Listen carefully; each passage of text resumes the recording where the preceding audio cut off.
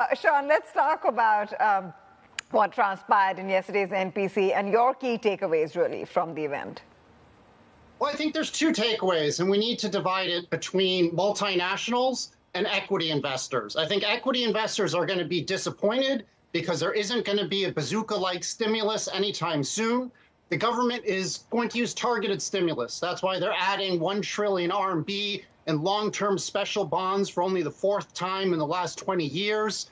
Um, they're focusing on indigenous innovation because they're concerned about US China tension. And so they don't want to be buying American technology from NVIDIA. They're going to be bolstering up the Huawei, the uh, Huarongs of the world. But I think what's important is we've seen that the middle class is going to grow. And that, that's what all of the discussions yesterday has been about. Um, we believe that the middle class is going to grow from 400 million to 800 million over the next mm-hmm. 10 years. So for equity investors, you need to be cautious in the short term. But for mm-hmm. multinationals, you know, everybody keeps telling me, go to Vietnam, go to India. But the reality is, is the next China is China because the middle class is going to grow over the next 10 years.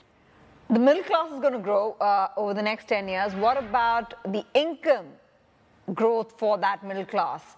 Because we're already looking at, you know, per capita income uh, standing at about 13,000, 14,000. So China's already rubbing shoulders with high income nations on a very high, on a, large population base. So I wonder, I wonder what that uh, middle income or the middle class growth, population growth would mean for their income levels.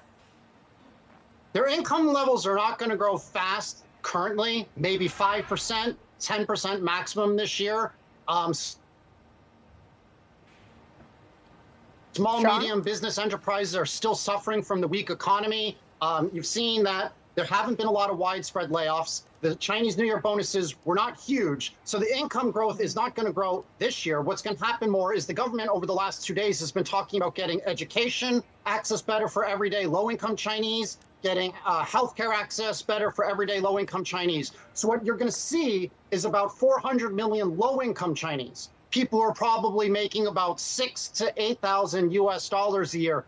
They're going to swell into the middle class ranks and be making 13, 14,000 US dollars over the next two, three years. So it's not going to be middle class getting richer. It's about the size of the middle class swelling. So, you know, multinationals, if you're thinking about a three, five year growth plan, you got to be investing in India, but you have to be investing in China because there's no other country that has the scale of China. You know, even if China only grows 5%, like the government has announced yesterday, is their expectations, that's like adding an entire Thailand and an entire Vietnam economy to China. Mm. So the economy is weak, as we've talked about a lot over the past year, but it's not that bad. Focus on the middle class. Look at companies like ASICS. Look at companies like Uniqlo. Look at companies like Proya Cosmetics. They're going to be targeting the middle class very well over the next year.